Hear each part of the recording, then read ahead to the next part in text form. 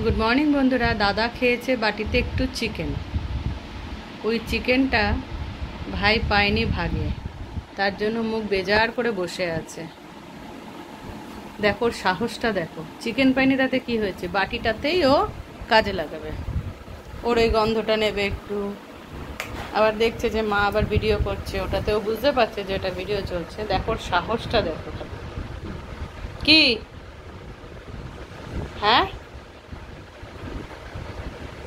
সাহসটা শুধু দেখো। ভিডিও হচ্ছে বলে মনে হয় ও এখন মুখে দেবে না। জানে এখন ফোনটার সামনে স্ট্রাইক হয়ে দাঁড়িয়ে আছে। কি করতে চাইছো? দাদা আবার একটু এগিয়ে দিল বদমাইশি করে, কিন্তু এখনও দেবে না। এখনও বুঝতে পেরে গেছে যে ওর ভিডিও চলছে। সাহসটা দেখো ওর শুধু। দেখো, সাহস দেখো।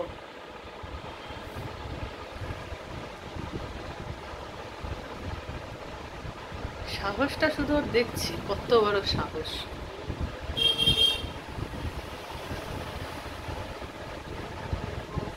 দেখি শুধু।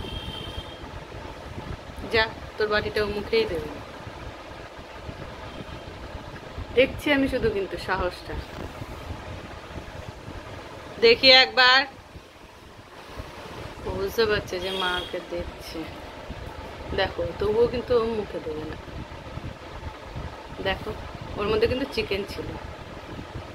শুধু দেখছি আমি।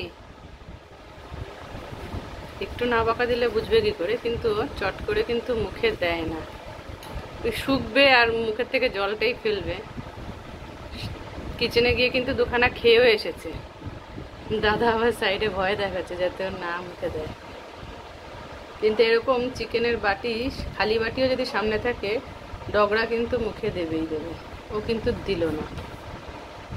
তো বন্ধুরা, এরকম ছোট ছোট ভিডিও পেতে থাকলে চ্যানেলটাকে একটু ফলো করো লাইক শেয়ার আর কমেন্ট করে দিও।